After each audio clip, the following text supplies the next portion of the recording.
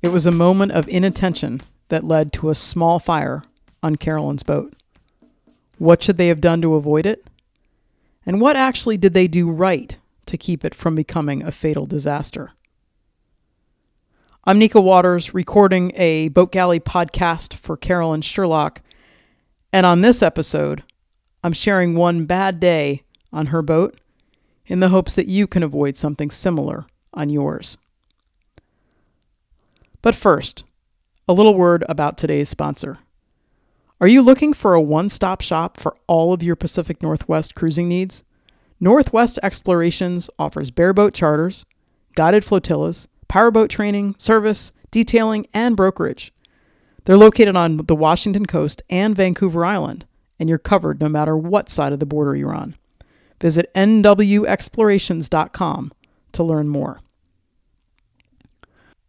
On one really bad day, because of one careless moment and one bit of just not thinking, Carolyn and Dave almost lost their boat. Before any more of this is shared, just know that they were physically okay, a little bit mentally shaken, and that Barefoot Gal, the boat, came away with only minor damage. To make a long story somewhat a little bit shorter, this is what happened. As part of preparing to go to the Bahamas, Dave changed the Racor fuel filters, then ran the engine to make sure all the air was out of the fuel lines. Just as he was ready to shut the engine down, it died, and it wouldn't restart. Testing showed that the fuel pump had died. Well, they do carry a spare, so Dave dug it out and began to install it. It is, as many boat places are, it's in a little bit of an awkward spot.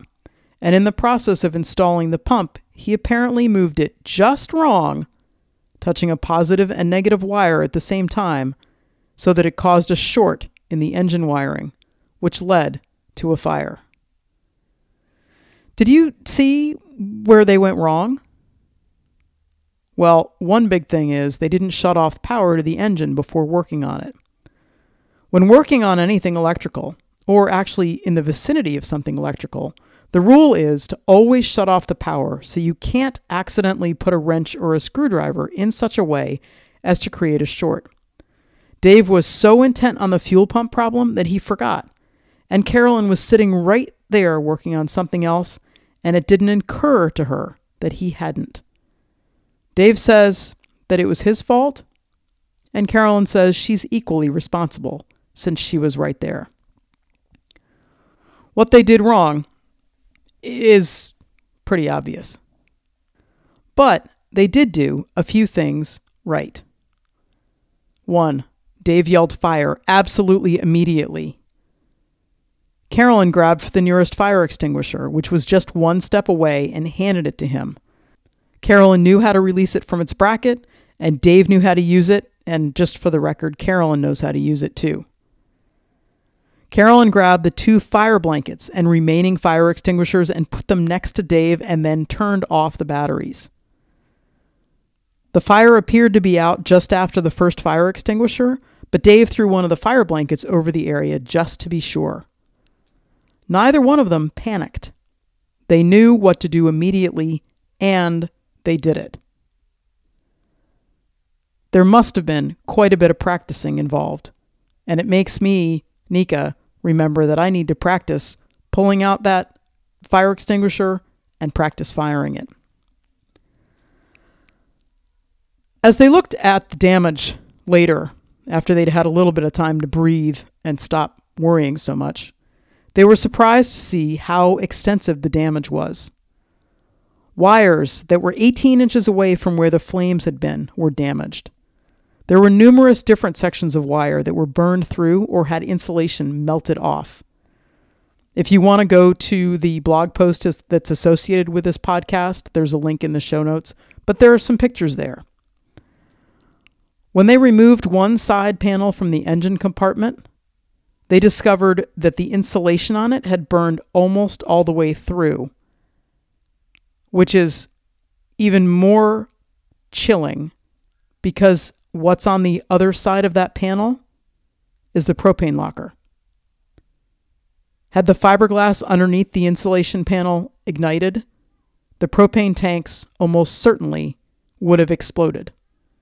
And the jerry cans of gasoline that were eight feet away would have gone next, and then the diesel fuel in the main tanks and the jerry cans. Not only would Barefoot Gal not have survived, Carolyn seriously doubts that they would have. They also learned what a mess a fire extinguisher makes.